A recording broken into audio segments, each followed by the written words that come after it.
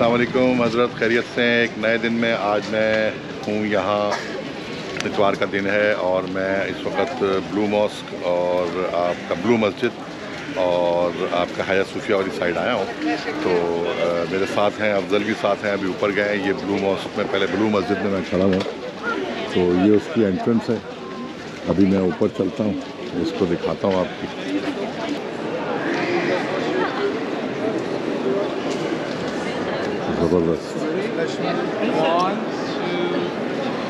ये छः हज़ार साल पुरानी मस्जिद है और शुरू से ही ये मस्जिद रही हया सूफिया की जो हिस्ट्री है वो अलग है इसकी हिस्ट्री ज़रा अलग है और अभी बड़ा डेंजरस हुआ हुआ है ये फ़र्श तो इस वजह से मैं ज़रा आराम आराम से चल रहा हूँ तो अंदर जाते हैं अंदर जाके देखते हैं इसका आर्किटेक्चर कैसा है क्योंकि यहाँ का आर्किटेक्चर तो बहुत खूबसूरत है, बाहर से एक बेहतरीन सी ह्यूज स्ट्रक्चर इनका। और बेसिकली इनके स्ट्रक्चर में ये चीज़ें हैं गुंबद और ये चीज़ें ज़्यादातर लगाते हैं। आपने जितनी भी मस्जिदें देखी होंगी यहाँ की, उनमें ज़्यादातर यही सिलसिला है कि ये गुंबद वगैरह जो है, ये इनका ख़ास कल्चर है ट्रेडिशनल ऑटोमैन अम्पायर और दूसरे लोगों ने इसको कायम रखा और टर्किश कल्चर के तौर पे ये जो है वो यूज़ हो रहा है। Ayakkabılarınızı kırmızı alanın खूबसूरत। dışında giyiniz. Please wear your इन्होंने shoes प्रेयर एरिया outside बनाया of the लड़कियों के लिए औरतों के लिए औरतों के लिए दोनों प्रेयर एरिया और ये बहुत खूबसूरत तो मैं ब्लू मॉस्क में इस वक्त मौजूद हूँ इतवार का इस वक्त का रश है। और मेरे पीछे अगर मैं आपको दिखाऊँ तो ये प्रेइंग एरिया है इससे आगे जाने की किसी को इजाज़त नहीं है। साइडों में सब जगह से खोला हुआ है मैं उसका आर्किटेक्चर ज़रा आपको दिखाऊँ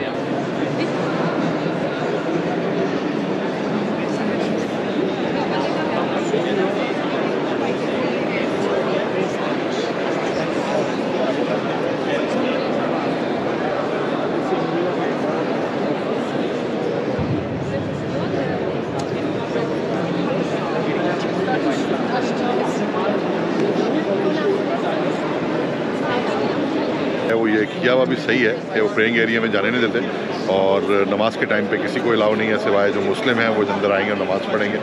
तो उसके अलावा किसी को परमिशन नहीं है कि वो जाके अंदर जो है वो देखे।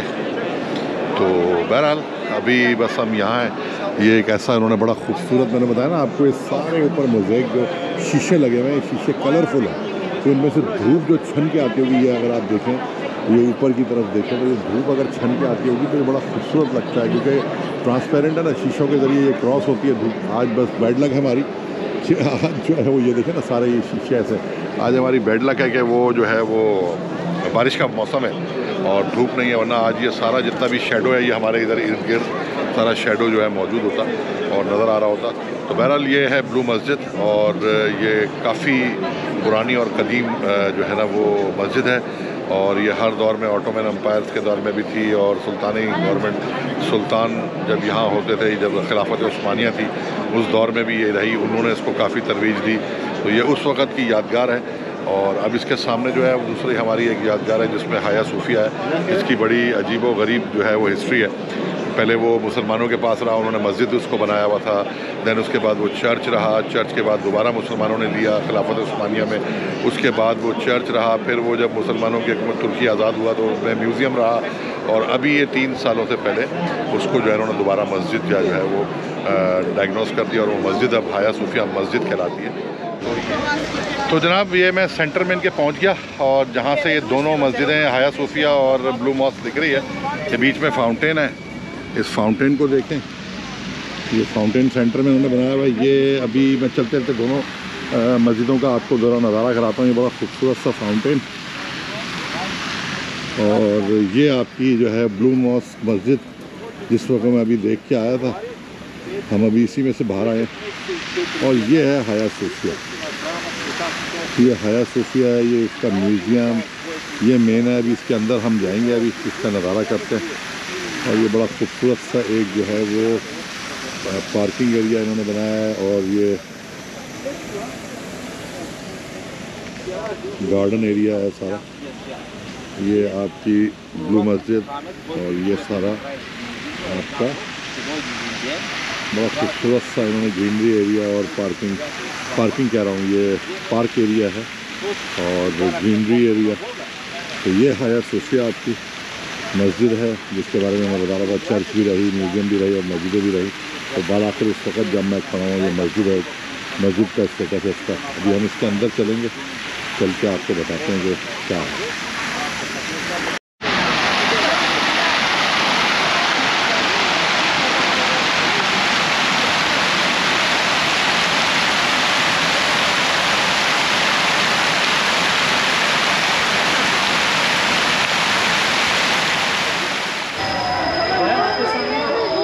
हाया सूफिया के अंदर, मैं आ गया हूँ। नमाज़ का टाइम हो गया, हमने कहा ज़ोर की नमाज़। पढ़े। प्रेइंग एरिया अलग है विजिटिंग एरिया अलग है।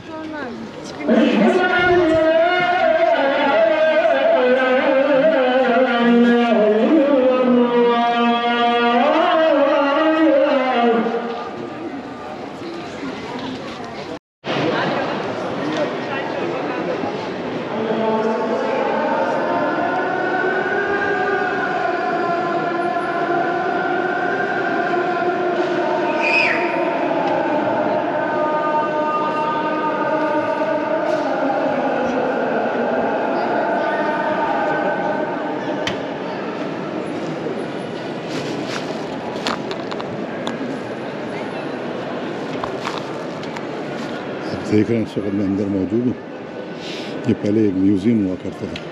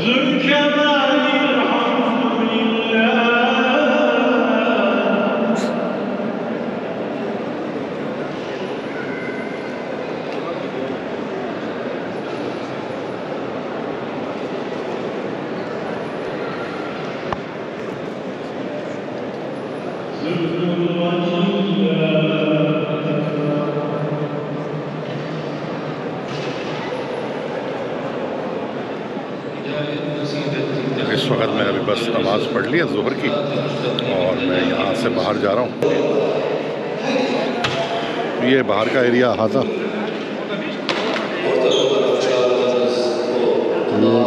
किंग्स गॉड की एक मस्जिद है और मस्जिद में हम अंदर आ गए। अब मस्जिद में अंदर आके मैंने नमाज़ भी अदा की और हमने बाहर भी आ गए। अंदर का आर्किटेक्चर भी देख लिया हमने। ये यहाँ का थोड़ा सा ये बाहर का अहाता बाहर के अहाते में थोड़ा सा। आपको यहाँ का भी थोड़ा सा नज़ारा करा देते हैं, बाहर के अहाते का भी। एग्जिट एरिया की तरफ़ चलेंगे प्रेयर एरिया उन्होंने एक बजे खोला था। और फिर उसके बाद उन्होंने म्यूज़ियम एरिया जो है, वो बंद किया हुआ था।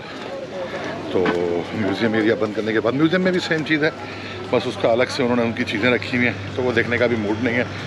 और अभी बस असल जो फ़र्ज़ अदा करना था, वो फ़र्ज़ अदा हो गया। साथ साथ मस्जिद का अंदर का भी आर्किटेक्चर आपको दिखा दिया।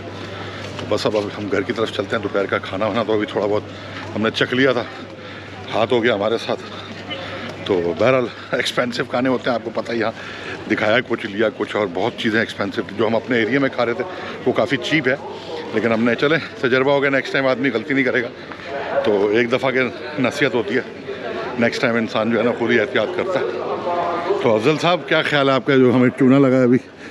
टोका बहुत टोका टाइट लगा। मतलब साढ़े सात लीरा का हमने जो है ना साढ़े सात सौ लीरा का खाना खाया। और वो एक सिंगल पर्सन का खाना था। चार सौ चालीस का उन्होंने प्लेट दी वो थोड़ा सा ऐसे वो चपड़ियाँ लगी हुई थी वो जो हमारी जो पसंदे होते हैं हमारे बीफ के। और थोड़ा सा सलाद वलाद और थोड़ा सा राइस रख के और उन्होंने फिर वो चिली विली भी बड़ी मुश्किल से ला के दी। जब वो खाना खा चुके तब चिड़ियाँ ला रहा है उसको पहले भी कहा था। दो तीन बोतलें पी पचासी लीरा की एक बोतल पड़ गई, जो कि हमें वहाँ चालीस की लीरा की पड़ रही है। और हम डेढ़ लीटर लेते तो चालीस पैंतालीस की डेढ़ लीटर आ गई वहाँ से, अपने एरिया से। तो बड़ा अजीब व गरीब सिलसिला। बहरहाल, चुना लगता है, यही तो सफ़र है कि टूरिस्ट जब होते हैं, उनको चूने लग जाते हैं। क्योंकि जब आइडिया नहीं होता नेक्स्ट टाइम भी केयरफुल होंगे हम लोग हंड्रेड परसेंट तो बहरहाल, देखें, चलें ये जो आ गया सामने जो है हया सूफी के सामने ये ब्लू मस्जिद है, जो हमने अभी पहले, थोड़ी देर पहले विज़िट की थी। और ये हमारी हया सूफिया जो आपको दिख रही है, अब हम अंदर से आए तो चलें जी ट्राम वराम चल रही है इधर।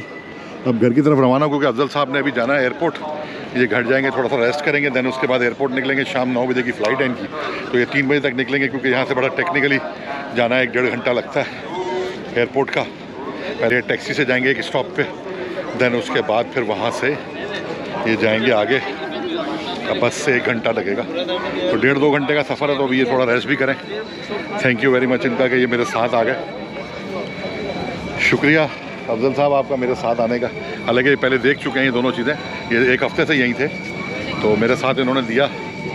तो अब इन ये चलते हैं। अभी जी अलकुम हाज़िर हूँ इस वक्त मैं इस्तंबुल में और आपको पता ही है। तो इस वक्त मैं जो है, वो अपने एरिए से, यानी काफ़ी से जो है, वो आपकी हम काफ़ी थे यानी काफ़ी पहुँचा था और सुबह आपने जैसे मुझे देखा कि मैं जो है वो आपकी ब्लू मॉस्क और आपका वो कवर किया मैंने, क्या नाम है हाया सूफिया। तो इस वक्त जो मैं जगह पे मौजूद हूँ, बहुत इनका एक फ़ेमस एरिया है, बहुत ही फ़ेमस और समझ लें कि इस्तंबुल का अगर आपने ये जगह नहीं देखी तो आपने कुछ भी नहीं देखा। इसका मकसद है कि ये इनका मेन स्क्वायर है, जिसको वाकई आप समझ रहे होंगे कि इस्तकलाल जो है ना, वो स्ट्रीट भी यही है। तो ये तकसीम स्क्वायर पे इस वक्त मैं मौजूद हूँ। आप मेरे चारों तरफ़ देख सकते हैं कि ये एक बहुत बड़ी मस्जिद भी है और ये मेट्रो से मैं आया हूँ। मेट्रो लाइन यहाँ डायरेक्ट निकलती है इस स्क्वायर के ऊपर और बहुत ही खूबसूरत जो है वो एक मस्जिद का नज़ारा आपके सामने मिलता है और एक बहुत बड़ा जो है खुला इलाका स्क्वायर की तरह। चारों तरफ़ से आपको पूरे इस्तंबुल की हर बिल्डिंग और उनकी बेहतरीन बिल्डिंग ये आपको उनका फ्लैग नज़र आया टर्की का, और ये बिल्डिंग्स हैं डिफरेंट और पीछे भी एक मस्जिद है। तो इस वक्त जो है, बल्कि चर्च है वो, पीछे जो है वो एक चर्च है, और ये मस्जिद है, और ये बिल्डिंग्स हैं इस वक्त सारी। टूरिस्ट भी आ रही है, और ये ट्राम की लाइन है। ये ट्राम की लाइन है डिफरेंट जो है वो फ़ूड की शॉप्स हैं। बहुत ज़बरदस्त लाइवली और ये इस्तकलाल जो है ना वो स्ट्रीट है। तो अभी हम इस्तकलाल स्ट्रीट की तरफ़ चलते हैं। तो इसीलिए स्ट्रीट है जैसे बाकू में स्ट्रीट है निज़ामी स्ट्रीट के नाम से। तो यहाँ भी एक इस्तकलाल स्ट्रीट है। डिफरेंट कंट्रीज़ uh, में उनकी पहचान उनकी ख़ास चीज़ों से होती है। कहीं जगह मैनूमेंट्स होते हैं कहीं जगह जो है वो उनकी स्ट्रीट्स होती है। वाह लवली जगह जगह इनकी जो है वो पूरे झंडे लगे हुए कोई ख़ास इनका मेरे ख्याल से जो है वो ओकेजन है या आम तौर पे ऐसे ही होता होगा, ये तो मुझे आइडिया नहीं है, लेकिन इस वक्त काफ़ी लाइवली लग रहा है और इस बार की वजह से भी हो सकता है।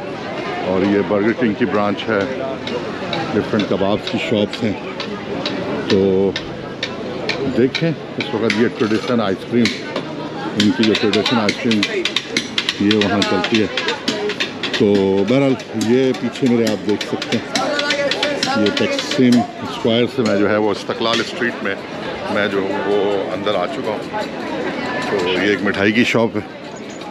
तो बिल्कुल वही चीज़ें हैं जो मतलब आपको पाकिस्तान या किसी और कंट्री में मिलेंगी। लेकिन फ़र्क ये है कि बस थोड़ा सा लाइवली होता है, लोग प्रमोट करते हैं वर्ल्ड वाइड फ़ेमस हो जाती हैं चीज़ें। और लोग उनको जो है वो बड़ा एक्सप्लोर करने के लिए जो है बेचैन हो जाते हैं। तो हमारे मुल्क में भी बहुत सी चीज़ें देखने वाली हैं पाकिस्तान में। लेकिन सिर्फ़ जो है, काम ये चाहिए कि वक्त पे उसको प्रमोट करें। आजकल जो है वो टूरिज़्म का गहमा गहमी हर जगह। तो हालात की नज़ाकत और सिचुएशन के बहुत पे हमें पाकिस्तान को, पाकिस्तानी गवर्नमेंट जो है उसको प्रमोट करे। तो पाकिस्तान में भी कई चीज़ें देखने वाली हैं, जैसे कराची में है डिफरेंट उनको हम सबसे पहले तो उनको प्रिजर्व करें, उनके अंदर टूरिस्ट की प्लेसेस उनको बनाएँ उनको। नॉर्मल तो हैं, लेकिन उनको थोड़ा टूरिस्टी लाइवली जैसे ये देखें ना ये कैसे उन्होंने इसको स्ट्रीट को और हर जगह सफ़ाई और चीज़ों को काम किया। तो क्यों नहीं हो सकता? पाकिस्तान भी इससे अच्छी कंट्री है। और ये कंट्रियाँ तो पाकिस्तान के बाद और डिफरेंट खैर तरक्की की तो खैर बहुत पुरानी हिस्ट्री है, लेकिन कुछ कंट्रीज़ ऐसे हैं जो बाद में पाकिस्तान के जो हैं वो आज़ाद हुई और उन्होंने तरक्कियाँ की हैं। सिंगापुर वगैरह की मिसाल ले लें हांगकॉन्ग आप देख लें, हालाँकि चाइना के अंडर में। तो ये सब बात की कहानियाँ हैं। चाइना बाद में आज़ाद हुआ पाकिस्तान के। तो आज सारे कहाँ हैं? पी आई ए ने स्टार्ट कराई एमरेट्स तो मतलब ये बड़ी चीज़ें हैं जो पाकिस्तान ने कराई, लेकिन आज पाकिस्तान की बदकिस्मती कि आज वो सबसे, इन सबसे पीछे है। और ये एक बेहतरीन सी ट्रेन जाते हुए ये हेरिटेज ट्रेन है आई थिंक लोग लटक रहे हैं इस पर कॉफ़ी वहाँ है, यहाँ मैकडोनल्ड बर्गर किंग वाटसन और के की ब्रांचेज़ हैं। आपका पापा जोन्स भी यहाँ मौजूद है, उधर आगे स्टारबक्स है। तो बस ये कुछ हाल है इस्तलाल स्ट्रीट का और तकसीम स्क्वायर में। तो बेसिकली स्क्वायर जो है वो तकसीम स्क्वायर है और स्ट्रीट जो है वो आपकी इस्तलाल स्ट्रीट है। तो ये व्हाट्सएप अच्छा जी डिनर की एक दुकान पे मैं आया हल्की सी भूख लगी, मैंने कहा चले, एक डोनर शॉप पे डोनर लिया जाए। वन ट्वेंटी का डोनर दिया उन्होंने चिकन। और जिसको चिकन शवरमा भी आप कहते हैं। और दूसरा यह है कि सिक्सटी की बॉटल वन एट्टी जो है उन्होंने दिया वेट कर रहा हूँ चिली का चिली के बगैर खाने का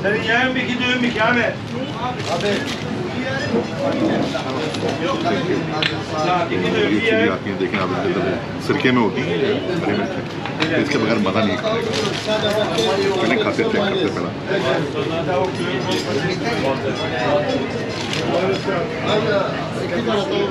ये है, आप आज़ादी चौक देख रहे हैं। ये टैक्सम स्क्वायर जो है, इसको बेसिकली आज़ादी चौक भी कहते हैं और ये मुजस्मा लगा हुआ बीच में आज़ादी के लिए जो चश्मे लगे हुए हैं, जो इनमें डिफरेंट किस्म के वॉरियर्स के जो दिखा रहे हैं तो ये आप देख सकते हैं, यहाँ जो है वो मुजस्मा और ये पब्लिक जो है इधर की मौजूद है, उसके बिल्कुल सामने, मैं मस्जिद के सामने मौजूद है, बहुत खूबसूरत मस्जिद। तो सारी मस्जिदों का स्ट्रक्चर तकरीबन एक जैसा ही है।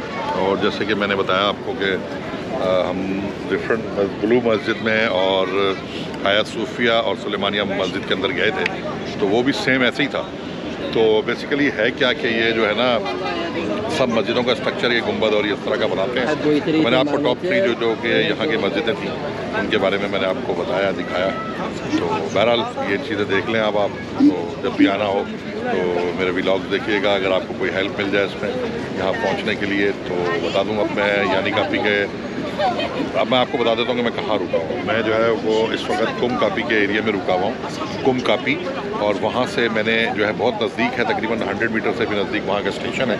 मेट्रो स्टेशन नहीं है, ट्राम स्टेशन है। और जहाँ से ट्राम लेंगे, यानी काफ़ी जो बड़ा स्टेशन है, जहाँ से मेट्रो लाइन और दूसरी चीज़ें मिलती हैं। तो ट्राम का जो बड़ा स्टेशन है, जहाँ से यानी कापी जिसको कहते हैं, और जो मेट्रो लाइन है एम टू वो यानी कापी से ही स्टार्ट होती है। जो ग्रीन लाइन है एम टू वो यानी काफ़ी से स्टार्ट होती है। और दैट स्ट्रेट बिल्कुल जो है ना, बिल्कुल इस टेक्सिम स्क्वायर के अंदर जो है, वो निकलती आके।